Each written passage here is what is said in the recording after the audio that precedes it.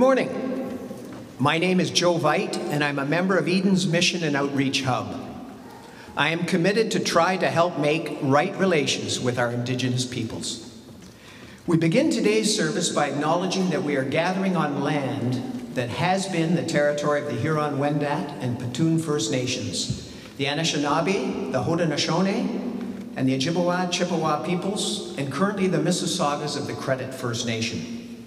We give humble and heartfelt thanks to the Indigenous peoples for their stewardship of the land on which we now live, work, play, and worship. Though we cannot change the past, we must work diligently and lovingly to try and reshape the present and the future for our Indigenous peoples. There are 207 reserves in Ontario, held by 123 First Nations. In 2019, there were 218,451 registered Indians living in Ontario, 44% of whom lived on reserves. Note, the term registered Indian is a legal term under the Indian Act. Reserves uh, in Ontario are held by Anishinaabe, Cree, Oji Cree, Haudenosaunee, Delaware, Delaware, and Algonquin peoples. There are also a handful of First Nations in Ontario who, for a variety of reasons, do not have reserve land. Today, we would like to reflect upon call to action number 12 from the Truth and Reconciliation Report. We call upon the federal, provincial, territorial, and Aboriginal governments to develop culturally appropriate early childhood education programs for Aboriginal families. And now I'd like to make an announcement about a very significant upcoming event, which is going to be held on June 11th, sunny Saturday, June 11th, is the 312th annual Eden Golf Tournament, started by Brian McLean when he was a little boy. And this golf tournament, I want to spend a couple minutes to tell you a little bit about it. It's a golf tournament of friendship. It's not the PGA or the Masters or anything like that. You don't have to be a great golfer. In fact, it really doesn't matter. It's going to be held at a beautiful little golf, golf course called Derrydale, which is over on Derry Road and just west of Highway 10. It's 12 holes, so as opposed to being 18 holes at a normal golf course, this one's only 12. 12 beautiful sunny holes. And you're going to be put in a team. You can come as an individual, two or three or four, and you get put together and it's called a scramble. It's not an egg. You're not scrambled eggs. You're going to be scrambled together. And that means that everybody hits the ball when you start off at the tee. You hit the ball. One goes 50 yards, one goes 150, one goes 200. Doesn't really matter. Then everybody goes, picks up their ball, and they go to where the best ball is. So it's called best ball or scramble. And that's how you play, and you have one score. So if you get a six, that's a score for the whole team. And the score is really not important because after this beautiful round of golf, should you choose to golf, then we're coming back to this beautiful building. And there's going to be a gorgeous little chicken dinner provided by our friends at Sobeys, the tiny little marketer from across the country. They're going to be cooking the turkey, prepared, and, and not the turkey, sorry, the chicken. You're going to have a gorgeous chicken dinner in this building, spread out, high, high ceilings, doors open for fresh air, so all will be good. And then there'll be a silent auction. During this, you can look. And a silent auction, if you wonder what that is, that yeah, I'll be quiet. People will be quiet. It's silent. You look around at items and you have a chance to bid on it. If there's something that's beautiful that you see and you would like to bid, and, and meaning bid, write your name on and, and some money, then that money collected will help come back to this church and it's, it's a bit of a fundraiser to help pay for the lights. So June 11th, you can do one of three things. You can golf, come back for the chicken dinner and the silent auction, or you can, and, the golf starts at one o'clock on Saturday. The silent, the, the dinner starts at six, and the silent auction is ongoing. So you can just come for the golf, you can come for the golf and the dinner, you can just come for the dinner. But please come. Think about it, bring a friend, bring a few friends. There's still a few openings. Thank you.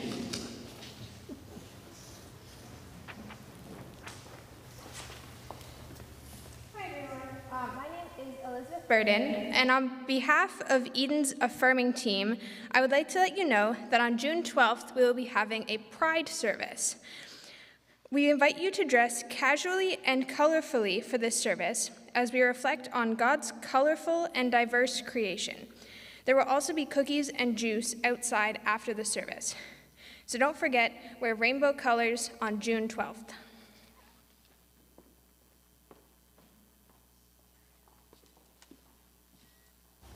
Good morning. My name is Susan Roberts, and I'm the chair of the council. And I'm here to remind you about our AGM that's happening uh, next Sunday. That's AGM Part 2, the life and work of the church.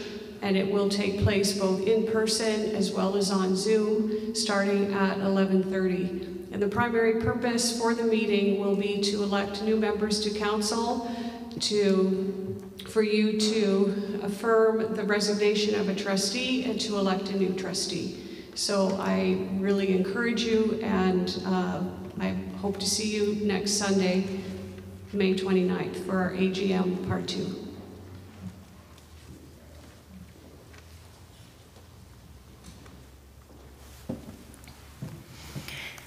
Thank you to Bev and Catherine and Terry Hill for their leadership and worship last weekend when I was away.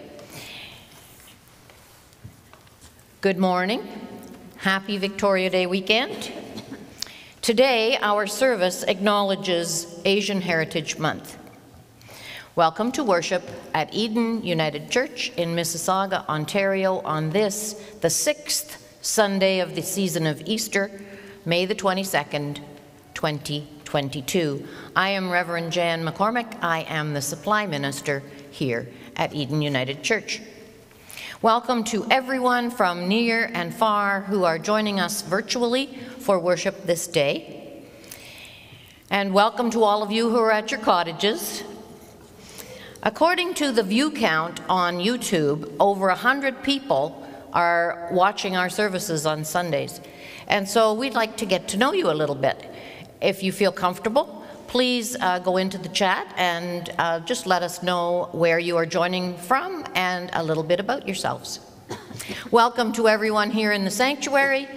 It is a pleasure and a privilege to worship together. The term Asian refers to people whose ancestry originates in the Far East, Southeast Asia, or the Indian subcontinent. This includes countries such as Cambodia, China, India, Japan, Korea, Malaysia, Pakistan, the Philippines, Thailand, Vietnam, Laos, Bangladesh, Sri Lanka, and many others. Just as we would not expect that all Canadians would be alike, we cannot expect that all Asians would be alike either. There are some similarities between Asian cultures, but there are also differences. Some of the similarities include respect for elders, close knit families, and multi generational households. In the scripture passage from 1 Kings, a widow shares her meager meal with Elijah. And in the gospel story, the risen Jesus is revealed to his companions as he breaks bread at the table. The common theme is human hospitality and also the generous, reliable provision from God. Let us prepare our hearts and minds for worship as we light the Christ candle.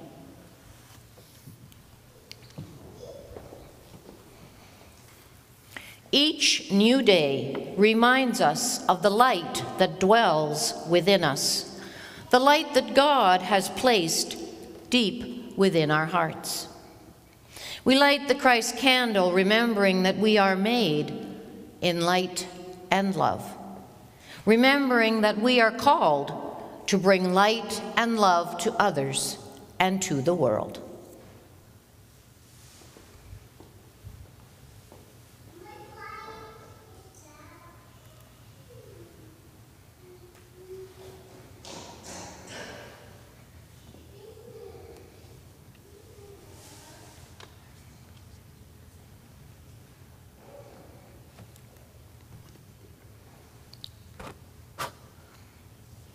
Jesus Christ is the light of the world.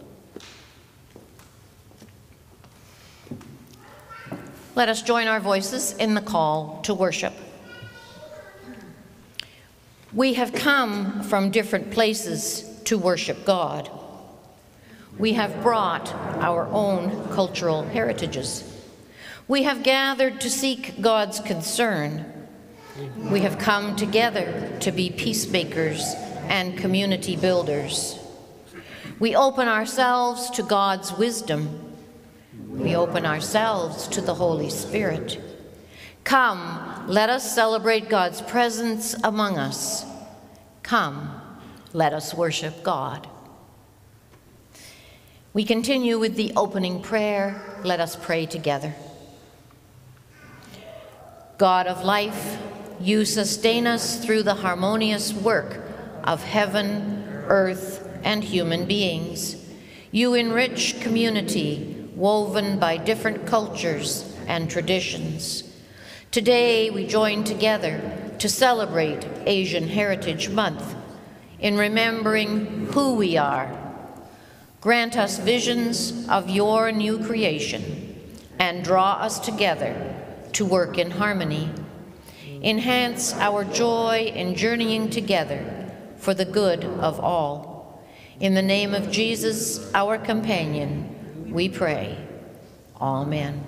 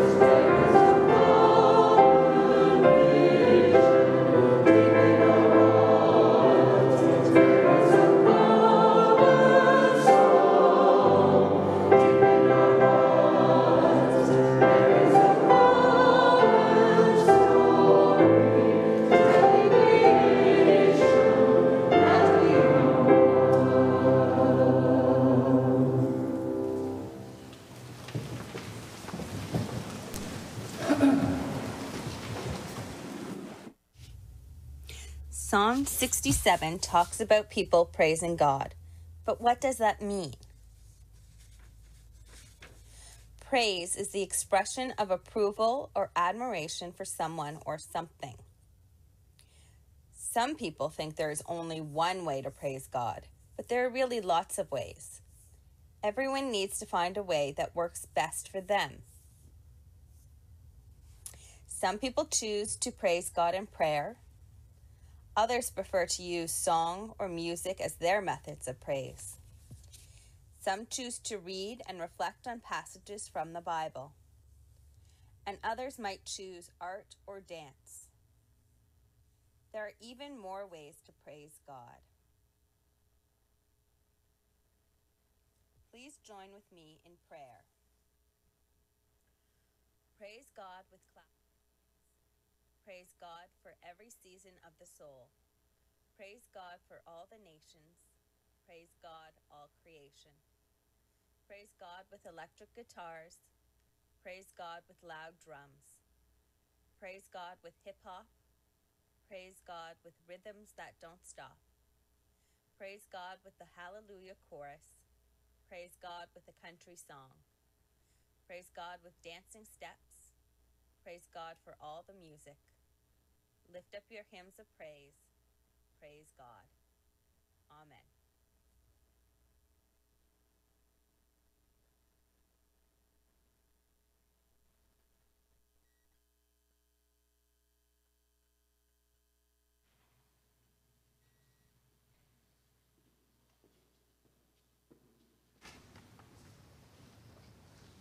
Prayer for illumination. Let us pray. O God, as we open your holy book of words written long ago, open our hearts and minds to receive your word for us today.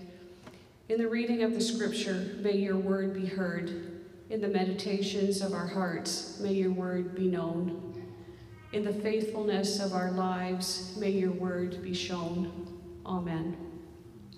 Hebrew Testament reading 1 Kings chapter 17, verses 8 to 16, New Revised Standard Version.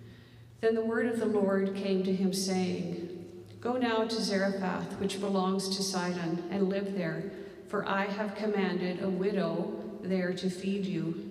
So he set out and went to Zarephath. When he came to the gate of the town, a widow was there gathering sticks. He called to her and said, Bring me a little water in a vessel so that I may drink.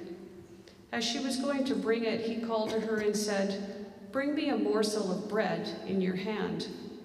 But she said, As the Lord your God lives, I have nothing baked, only a handful of meal in a jar and a little oil in a jug.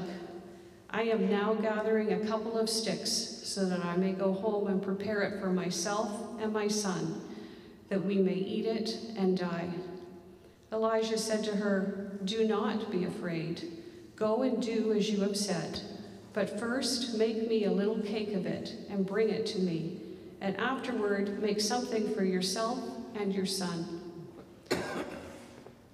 For thus says the Lord, the God of Israel The jar of meal will not be emptied, and the jug of oil will not fail until the day that the Lord sends rain on the earth.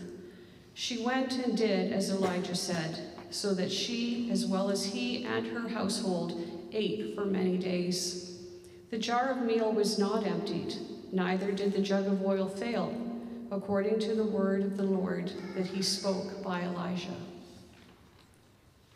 The gospel reading is from Luke chapter 24, verses 25 to 35 New Revised Standard Version.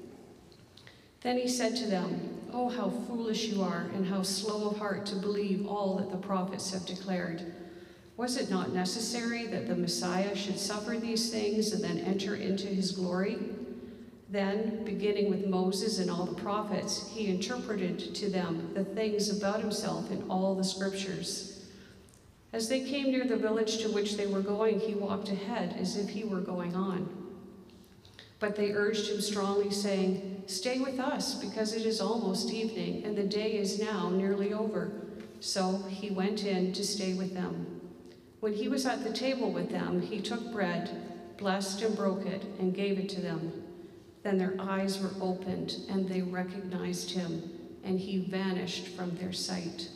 They said to each other, Were not our hearts burning within us while he was talking to us on the road? While he was opening the scriptures to us. That same hour they got up and returned to Jerusalem, and they found the eleven and their companions gathered together. They were saying, The Lord has risen indeed, and he has appeared to Simon. Then they told what had happened on the road and how he had been made known to them in the breaking of the bread. God's word is a lamp to our feet and a light to our path. Herein is wisdom. Thanks be to God. Amen.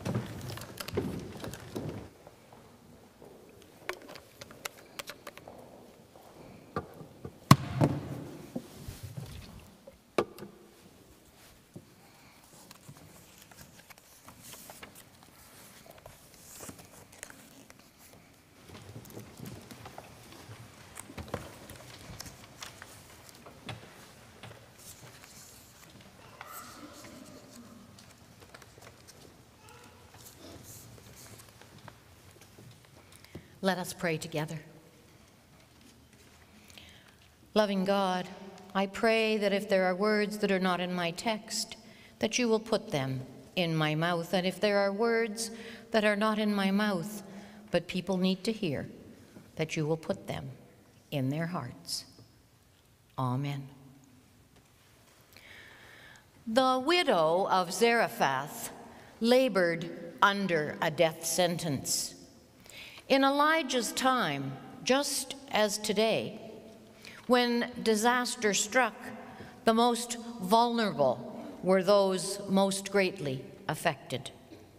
A widow and her son had no means of support in Elijah's world. Perhaps they could grow a few crops and sell some produce in order to afford staples such as oil and flour. But that was no longer possible in a drought.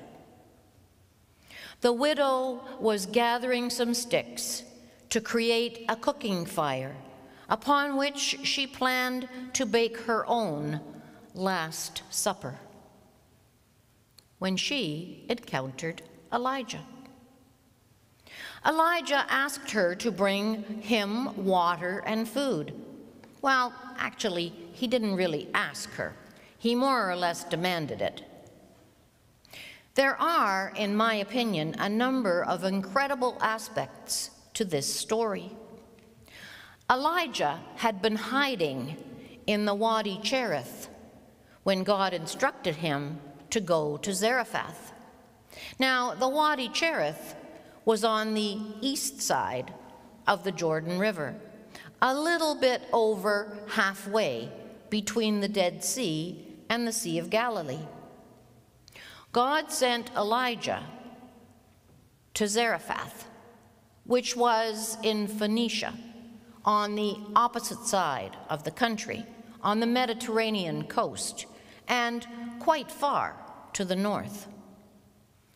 It was a long way for Elijah to travel to find a widow who God had instructed to feed him. Why couldn't someone closer by give Elijah food? Why did God arrange for a Gentile woman, a foreigner, to feed Elijah? Why did God arrange for a person who was destitute, a person who had nothing to give, to be the one who provided?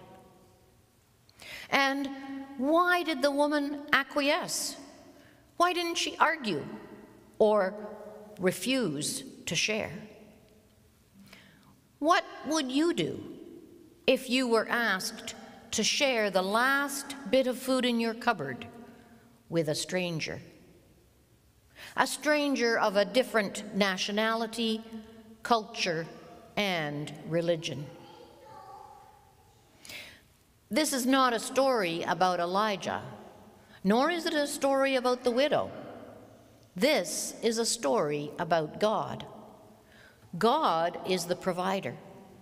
God specializes in providing food, both food for our bodies and food for our soul, both of which sustain our life. The oil did not run out the jar of meal was never empty. Death was swallowed up by promise. Death was swallowed up in hope. God provides for everyone, everywhere.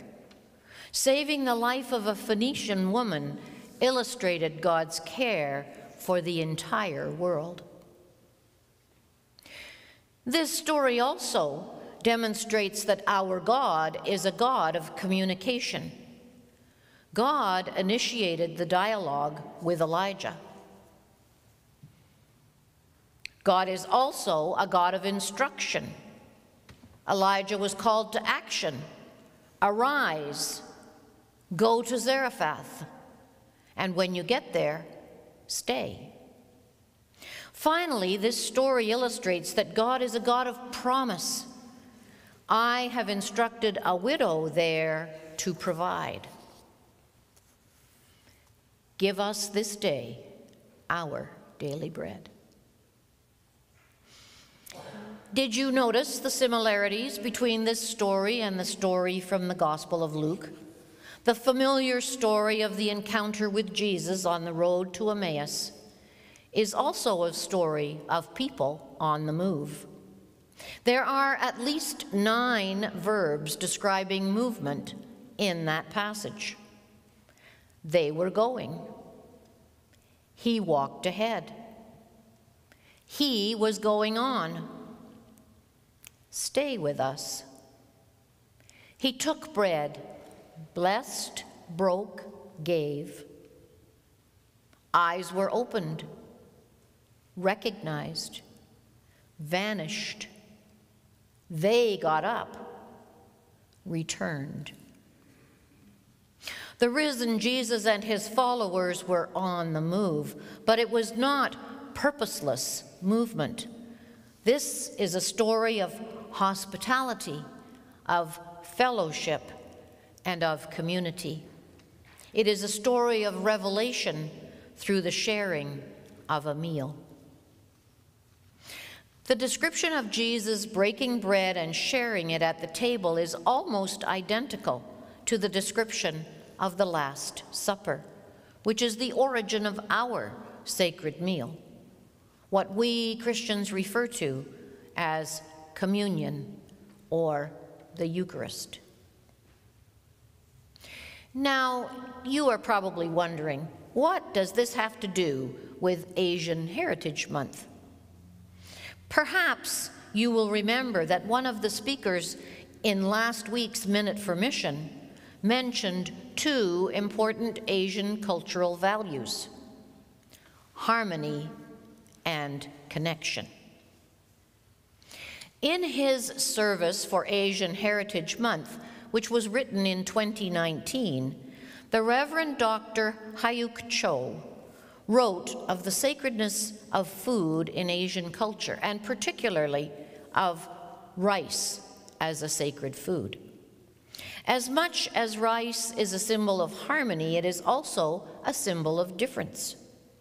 There are many different varieties of rice, 120,000, in fact.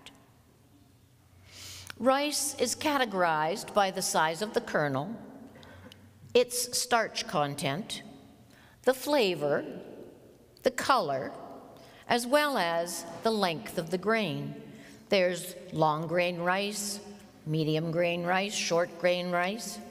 Varieties include jasmine, basmati, arborio, red aromatic, black jasmine, sweet rice, and of course, the rice which is native to North America, wild rice. The numerous varieties of rice are similar to the numerous nationalities and cultures of humanity.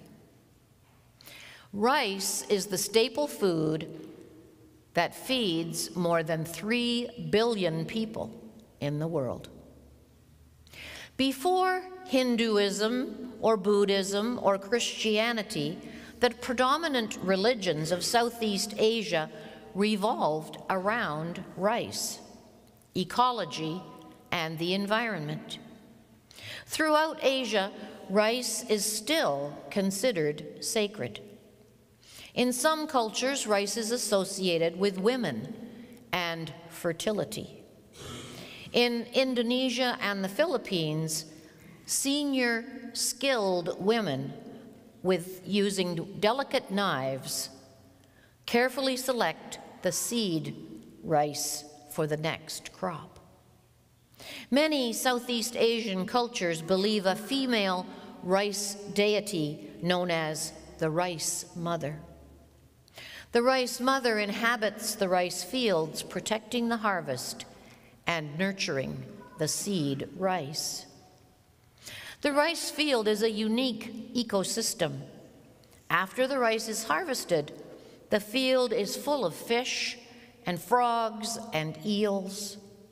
Ducks come along after the harvest and eat the gleanings and lay their eggs. There is an ongoing cycle of birth and rebirth in a rice field. In a, his message of 2019, Reverend Dr. Hyuk Cho wrote, quote, In Korea, the typical morning greeting is, have you had breakfast? Later in the day, the greeting changes to, have you eaten? This greeting is not unlike hello or how are you in North America. If the answer is no, then inevitably food would be served. He described his childhood experience. I could have my meals at many different people's homes, not because my parents did not feed me, but because we considered our neighbors family.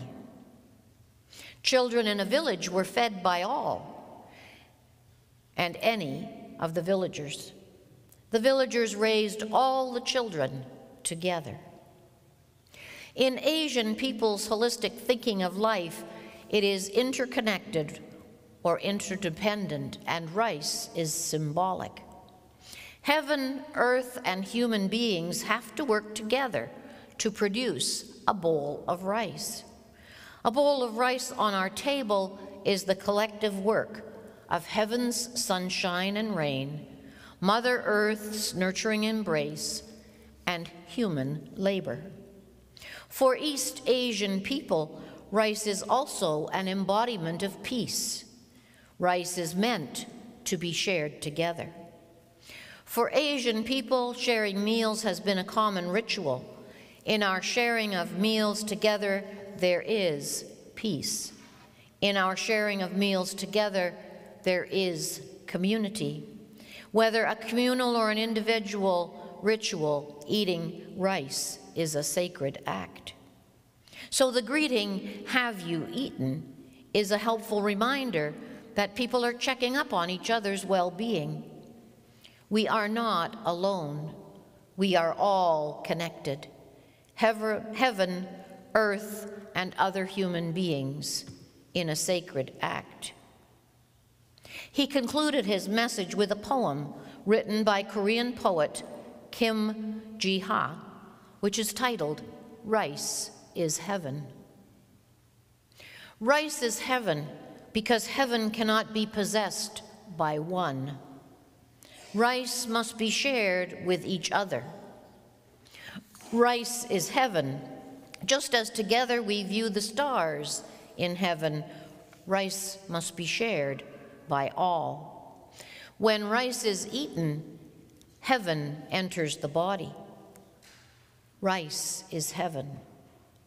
Ah, rice must be shared. End quote. This poem reminded me of a lesson I learned some years ago. I was working in physiotherapy in what was then known as home care. Entering people's homes to provide care can be a bit risky. We had attended a security training workshop facilitated by a police officer, and we were told that when entering a client's home, we should always keep our shoes on. In the event of a situation arising which meant that we had to exit the home rapidly, there would not be time to put on one's shoes. We were also instructed to never accept food or drinks in a home, as we could become ill due to unclean circumstances, or more dramatically, we could be poisoned or drugged. One day, I entered the home of an Asian family to provide physiotherapy to a man who had been injured in an accident. Neither he nor his wife spoke English. The woman indicated to me that I should remove my shoes and don a pair of beautifully embroidered slippers. I shook my head. No. She looked puzzled and a little sad. She left the room and returned with a tray of food, which looked and smelled delicious.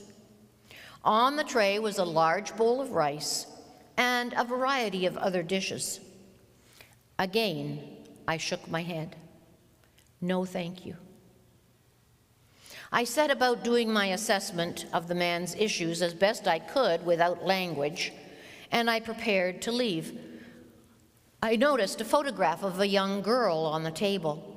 I guessed that she was perhaps 10 or 11 years old, and it looked like it was probably a school photograph.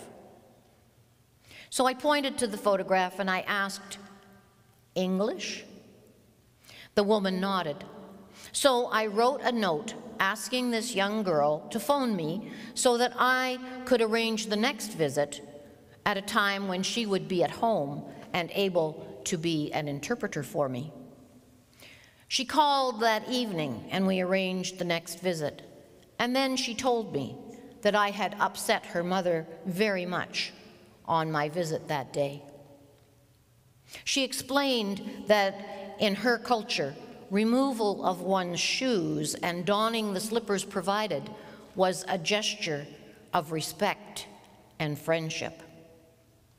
Accepting the food offered was a gesture of peace hospitality, and con connection. By refusing to accept either, I had shown myself to be disrespectful and untrustworthy. If I intended to work with her father successfully, she said, I needed to put on the slippers and eat the food I was served. The directness of this young child impressed me greatly, and I was embarrassed by my own self absorbed attitude. On my next visit, I donned the slippers and I enjoyed the delicious food offered. And as I did so, tears rolled down my hostess's face. Rice is heaven. Amen.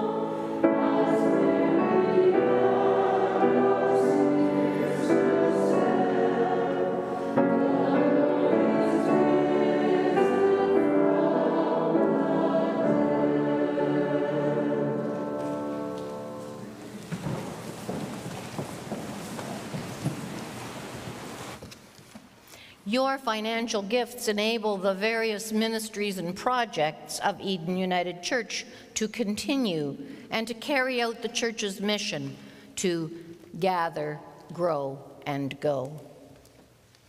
We are very grateful for all donations. It is possible to give in a variety of ways.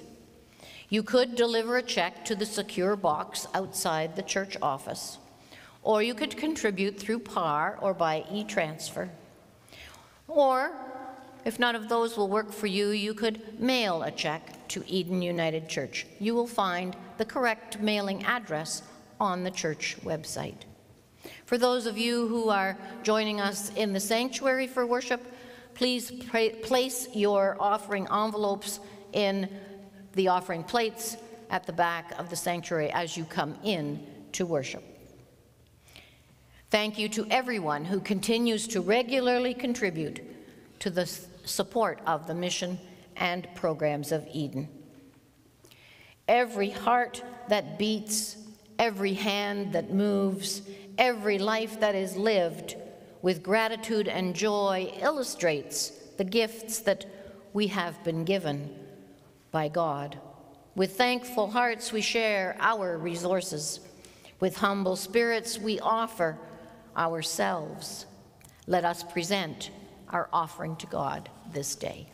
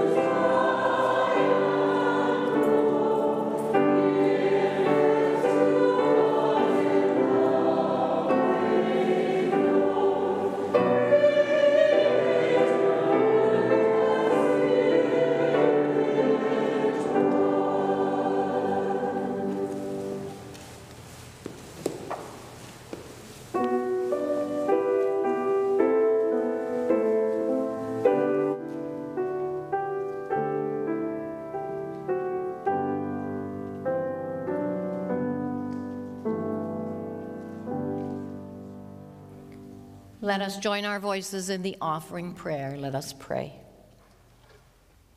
You continue to bless our lives. Wherever we find ourselves, the bounty of your presence meets us there. We bring these gifts to you in order to share our bounty. May those who need these gifts find your presence, even as they receive what they need.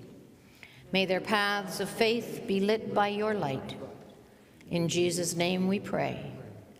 Amen.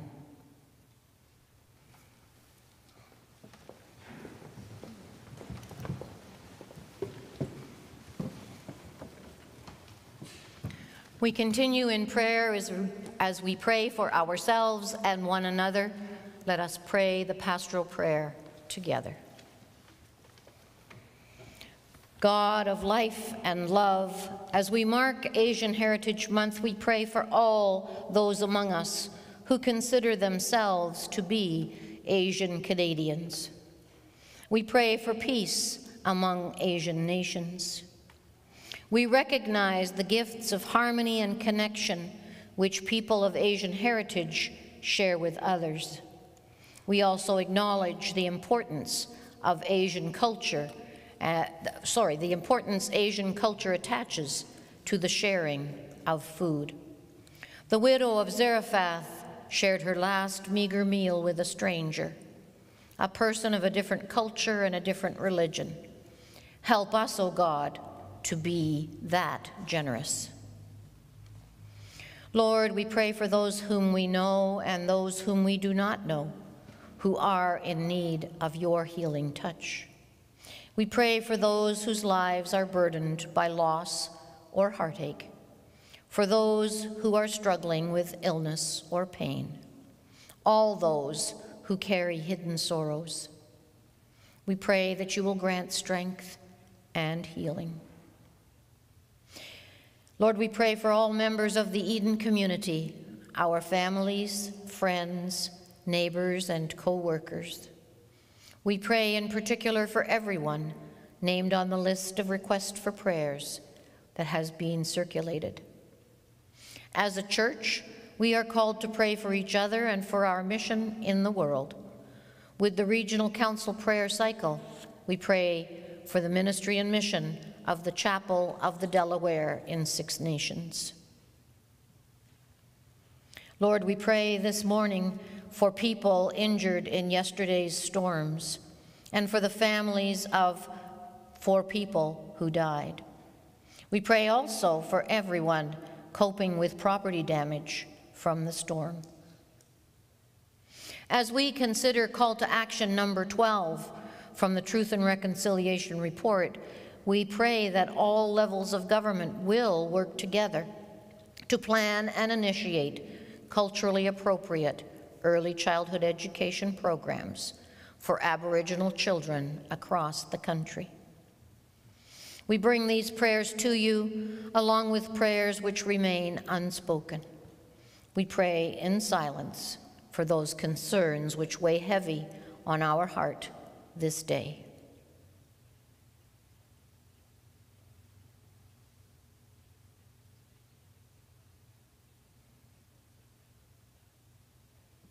Trusting that you have received all our prayers, both spoken and unspoken, with mercy and grace. We pray in the name of the Christ within us and among us, who taught his followers to pray this way.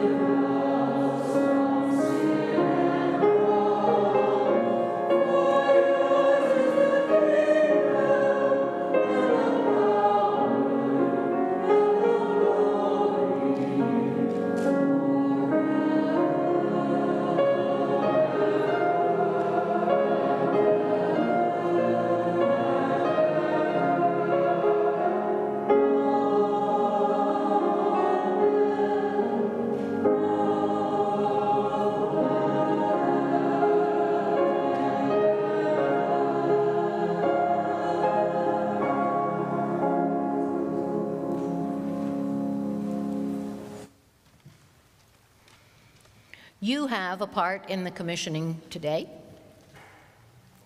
Please join me.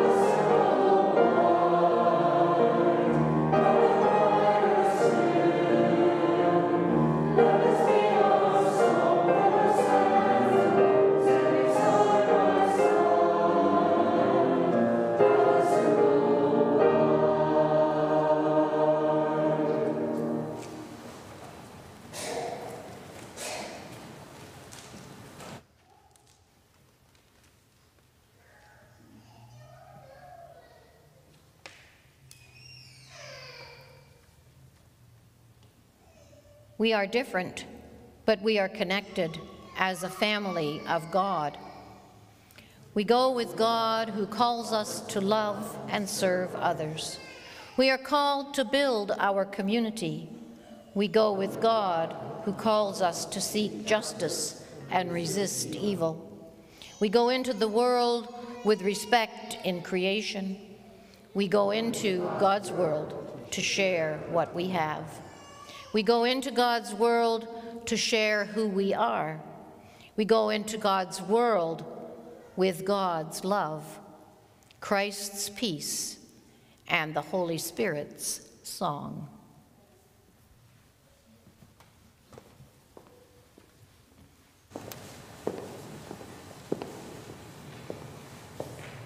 May God bless you and keep you. May God's face shine upon you and be gracious unto you. May God look upon you with kindness and bring you peace. And all God's people said together, Amen.